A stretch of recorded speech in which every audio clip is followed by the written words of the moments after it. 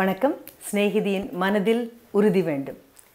இன்றைக்கி இன்னைக்கு உங்ககிட்ட கேட்க வேண்டிய மிக முக்கியமான விஷயம். இன்றைக்கின்னு இல்லை ரொம்ப நாளாக நினச்சிட்டு இருக்கேன் இன்னைக்கு கேட்டுறது அப்படின்னு ஒரு முடிவு பண்ணியிருக்கேன்.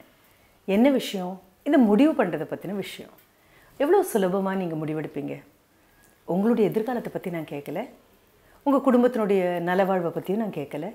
குழந்தைகளுடைய வாழ்க்கை அவங்களுடைய எதிர்காலம் அவங்க என்ன படிக்கணும் என்ன படிக்கக்கூடாது என்ன சாப்பிடணும் என்ன சாப்பிடக்கூடாது எப்படி உடுக்கலாம் எப்படி உடுக்கக்கூடாது இந்த முடிவுகளை பற்றி கேட்கவே இல்லை. ஏன்னா இந்த முடிவுகளை பற்றின பாதிப்பு மிக குறைவாக தான் இருக்கும். உங்கள் குடும்பத்தோட முடிஞ்சு போயிடும். நான் கேட்கக்கூடிய முடிவு வேறு.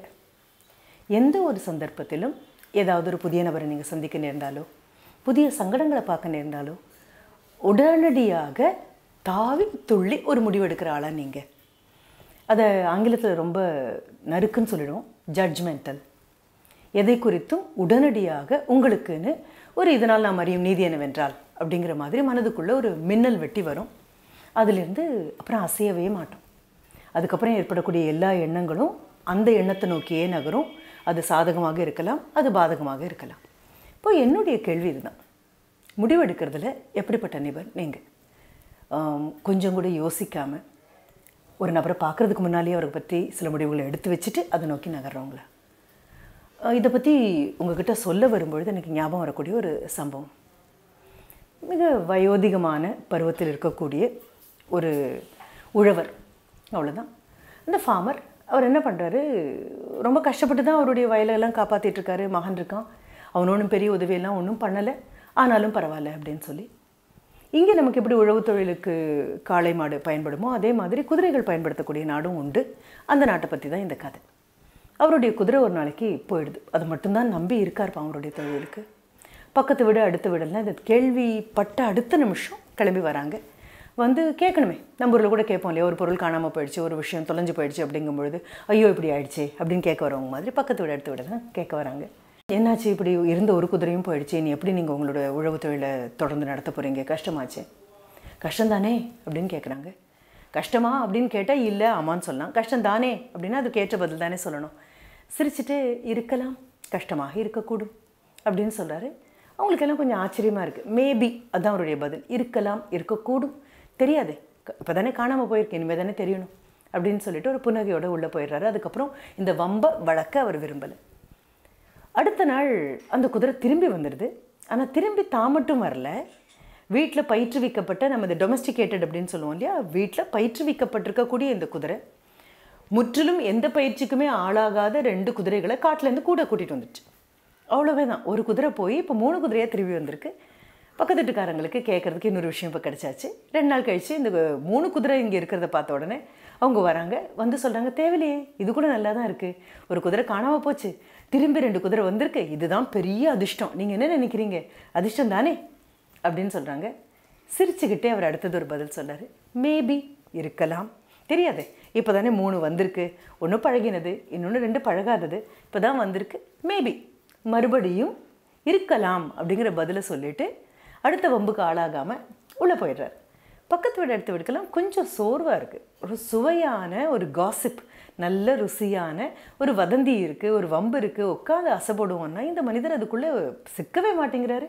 இருக்கலாம் இருக்கலாம் அப்படின்னு ரொம்ப இயல்பாக சொல்லிட்டு உள்ளே போயிடுறாரு. சரி. ரெண்டு நாளாவது ஏதாவது ஒரு விஷயம் பக்கத்து வீட்டில் நடந்துகிட்டே இருந்தால் தானே நமக்கும் சுவாரஸ்யம். பார்க்குறாரு பார்த்தா இந்த மூன்று குதிரையாக திரும்பி வந்தது இல்லையா? அதில் பயிற்றுவிக்கப்படாத ஒரு காட்டு குதிரை இது ஸோ வைல்டு ஹார்ஸ் அந்த குதிரை மேலே இவருடைய ஒரே மகன் இவருக்கு எந்த உதவியும் வாழ்க்கையில் செய்யாத மகன். உழவு தொழிலுக்காக பப்பா அப்பாவுக்காக பக்கத்தில் நின்று உதவி பண்ணாத அந்த மகன். அந்த ஒரு முரட்டு குதிரை மேலே ஏறி போகிறாரு அது கீழே தள்ளிடுது. முழங்கால கீழே உடஞ்சி செதஞ்சு பயிரை குண்டு கட்டாக தூக்கிட்டு வந்து வீட்டில் போடுறாங்க. அவ்வளோதான் அடுத்த வீட்டிலேருந்து எல்லாரும் வந்தாச்சு. ஐயோ இப்படி ஆயிடுச்சே கேள்விப்பட்டோமே. பையனுக்கு கால் உடஞ்சிருச்சாமே. சின்ன பையன் வேறு இளைஞன் வேறு உங்களுக்கு உதவணும் வேறு. இப்படி ஆயிடுச்சே. ரொம்ப கஷ்டம்தானே? இருக்கலாம் அப்படின்னு சொல்கிறாரு மறுபடியும் பக்கத்து வீடு எடுத்து வீட்டுக்கு ரொம்ப வருத்தமாக இருக்குது பிகாஸ் இட்ஸ் நாட் ஜட்ஜ்மெண்டல் ஒரு முடிவு ஆமாம் இதுதான் அப்படின்னு திட்டவட்டமாக அவர் எதையும் சொல்ல மாட்டேங்கிறாரு.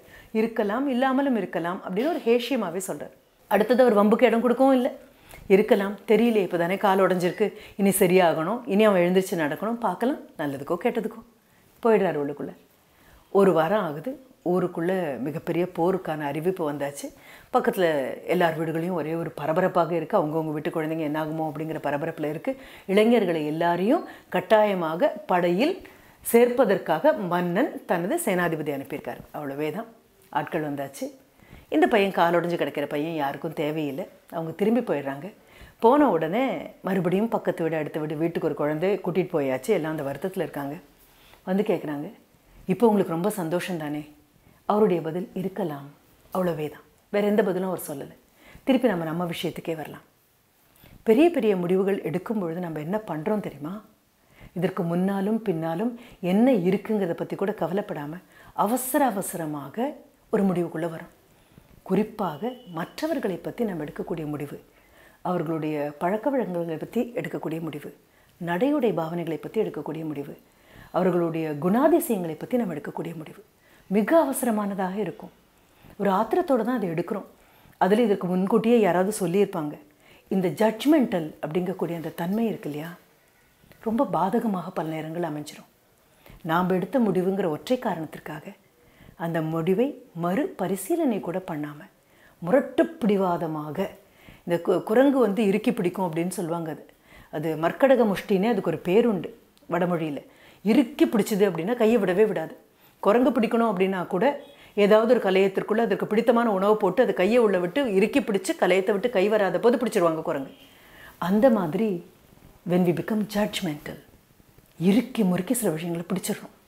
அதை விட்டால் நம்ம காப்பாற்றப்படுவோம். ஆனால் அதை விடுற பக்குவம் நமக்கு இல்லை. இந்த கதையிலிருந்து கொஞ்சம் மனதை மாற்றி பார்க்கலாம். என்ன? அவசரப்பட்டு ஆத்திரப்பட்டு அரைகுறையான ஞானத்தோட எடுக்கக்கூடிய கடுமையான முடிவுகள் மறுபரிசீலனைக்கு ஆட்படுத்தப்பட வேண்டும்.